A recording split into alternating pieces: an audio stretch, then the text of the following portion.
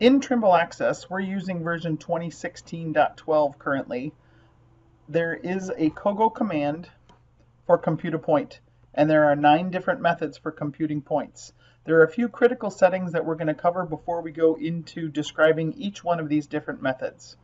One of the important settings is under the properties of your job, under COGO settings, you have to decide if the distances that you're inputting are grid distances, ellipsoidal distances, or ground distances. You also need to decide if the sea level correction for the ellipsoid is going to be applied. Another setting in the job settings, if I go to units, I have a checkbox here whether I'm going to be using quadrant bearings or azimuths. If I select COGO, compute a point, you can see again there are nine different methods. We're going to cover each one of these in a separate video. First it asks for the name of the point that you want to store, to compute, the code of the point you want to compute, which method you want to use. When it comes to the starting point you have lots of choices. So if I hit the right arrow with the three dot ellipsis, it asks me if I want to do it radially, meaning I'm going to calculate multiple points from one location, or sequentially, like I want to do a metes and bounds description around a property.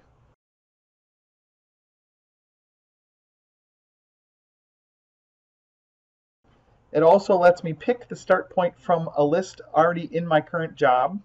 I can search for my job. I can also key in a point. Fast Fix automatically connects to either your total station or your GNSS receiver and takes a point or measure actually takes you to the measure screen, allows you to name the point, and then store it. You may notice that the map selection is grayed out. That is because we have nothing currently selected on the map. If you want, the COGO calculations can be done graphically by selecting points from the map screen. So you select the start point. Under the azimuth origin, you have four choices.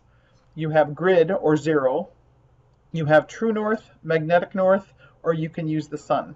We'll cover the sun in a different video.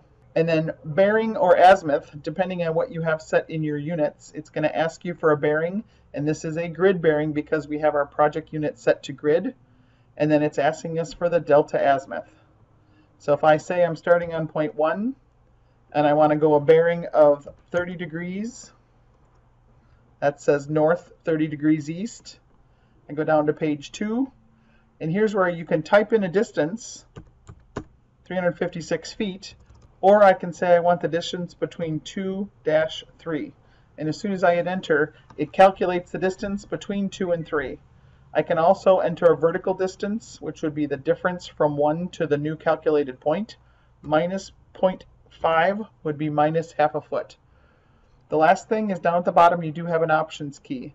Again, are your distances grid, ellipsoid, or ground? You can change them right here. And if you do know the magnetic declination and you're using a magnetic setting, you can set that here in your COGO command. As soon as you hit calculate, it shows you the coordinates of the point you want to store, and you can choose whether you want to store it as a latitude, longitude, a WGS84, depending on your coordinate system, a local coordinate, a grid coordinate, or just store the raw measurements, as azimuth, horizontal, vertical. Be sure you hit store. That concludes video one on COGO Compute a Point.